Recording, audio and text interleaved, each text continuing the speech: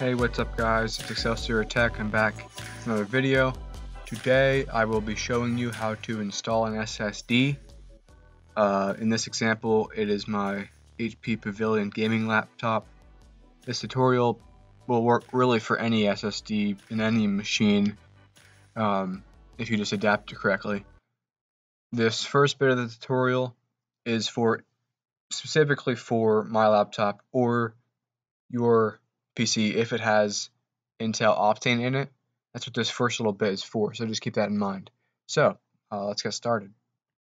Okay, the first thing here is to launch um, Intel Rapid Storage Technology, which is what's up, and then go to the Optane tab, and then you want to disable the Optane, which is what I just did.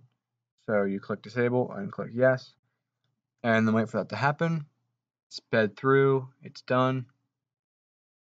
And then once that is done, we'll reboot it. Now, also, sorry I'm not using a screen recorder. Um, just because it, the rebooting, that's why I'm not. Now you're going to want to open up the laptop. So get your toolkit of choice or just a screwdriver. Uh, this, I'm going to use a Phillips 2.5 bit for my laptop. Yours could be different. And I mean, it's not terribly important which one you use, but I'm using the 2.5 here.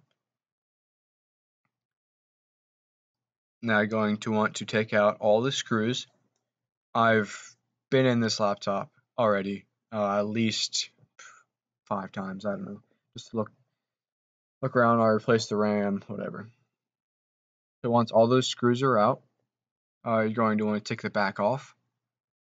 Since this is not my first time, it'll be easier for me, but your first time could be hard. So a suction cup and a uh, plastic pry tool so you don't scratch anything could help, will help actually. Suction cup for sure helps. Your first time probably won't pop off just like mine did there. It'll it'll probably be harder.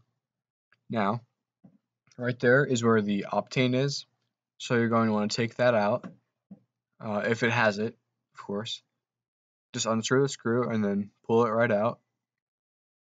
Should mention, don't touch really stuff in there. I mean, you could fry something, you could mess up, you could really mess up your PC, it could break. But there's the Optane, I just took it out.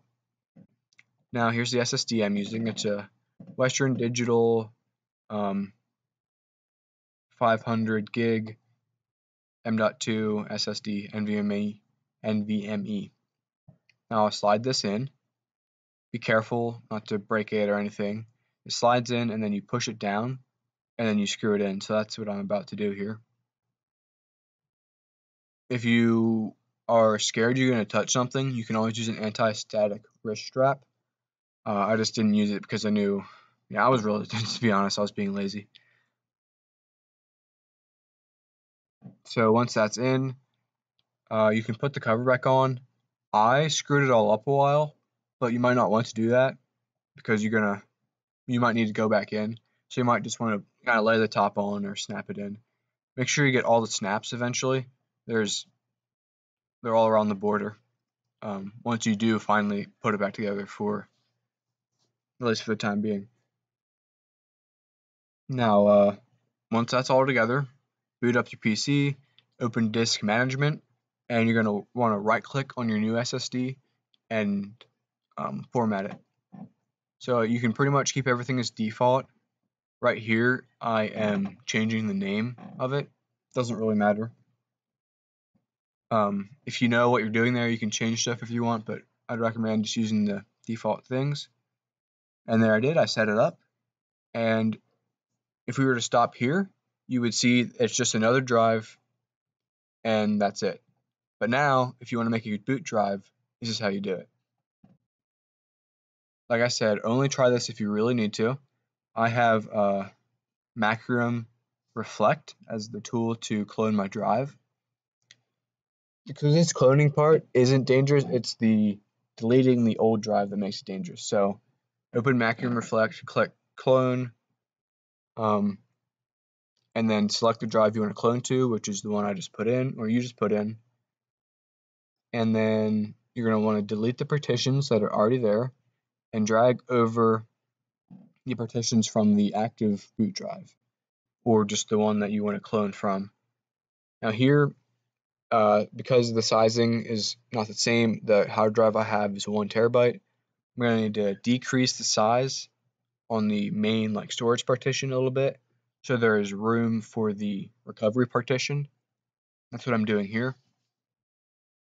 And once that's done, I'm going to click next. I'm going to go through to uh, clone everything. Uh, yet, again, I'd recommend sticking with the default settings unless you really know what you're doing. And uh, go through, look everything over, make sure it looks right. And then you can, once that's done, you can click clone and wait for all that to happen.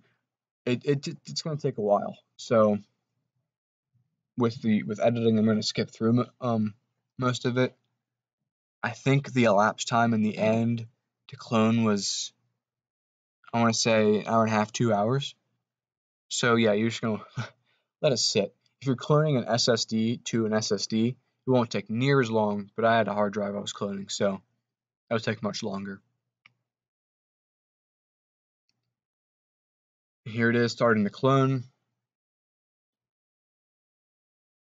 While this is happening, I just want to remind you, this part isn't necessarily dangerous.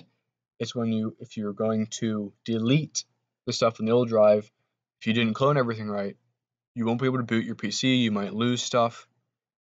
Trust me, only do it if you know what you're doing, and you probably want to check out a different tutorial. This isn't completely thorough. Now here you can see it's cloned. Uh, both drives are identical. The new SSD, which was that folder, has has everything on it that my other drive does. And now I believe I'm going to restart the PC and I'm going to boot from my new SSD. And I'm going to uh, go in like the the back door, uh, I guess you could say, into the like boot settings. So I'm doing here. You can follow these steps if you want. Now a tip I would recommend, uh, which I did not do, I, I, forgot, but it would have saved me some time in troubleshooting. Um, could save you a big mistake. Before you delete everything on your old drive, if you want to, I would recommend um, once everything's cloned, remove the old drive. Okay, here I am booting from the new drive. Uh, remove the old drive and make sure your computer still boots with new drive that you cloned to. That way you are sure you can delete everything on the old drive. So like physically remove the old drive to make sure it's safe. That will save you, could save you if you didn't clone something right. Um, it'll save you. So that is a big tip. Definitely recommend doing that. Now here it is, booted up. I booted onto the new drive. Everything worked. Um, it will take a long time to boot the first time, or at least it did for me.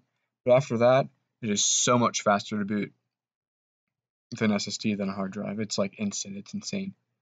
And there it is. It's working. So thanks for watching. Um, make sure to like, comment, subscribe.